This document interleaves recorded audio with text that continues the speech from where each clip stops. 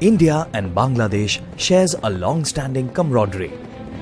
The Prime Ministers of both the nations are working to further flourish the relations between the two neighboring countries through trade and travel. As part of this vision, various developmental steps have been taken in the recent past.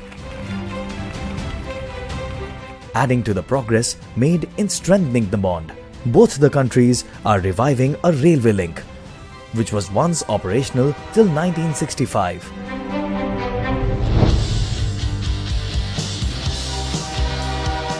The reopening of the Chilahati Haldibadi route is expected to encourage economic and social developments of the people of both the nations.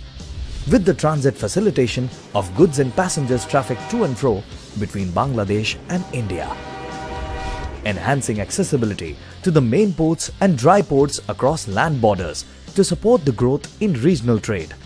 For this purpose, construction of a broad gauge link from Haldibadi in India to Bangladesh border has been carried out by Indian Railways. Similarly, Bangladesh Railway has also upgraded and laid the missing tracks from Chilahati to Indian border. Chilahati Haldibadi rail link is the fifth railway link becoming operational between India and Bangladesh, nurturing the social, trade and cultural bonds between the people of both the nations.